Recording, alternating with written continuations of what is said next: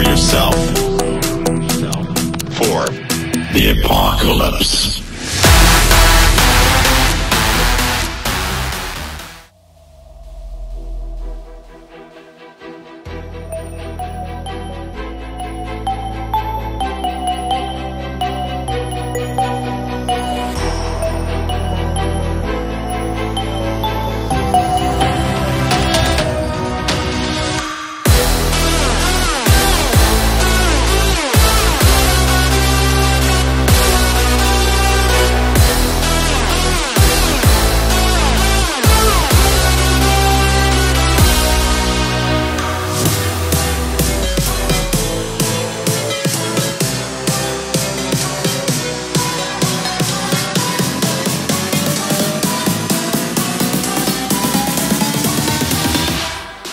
Station.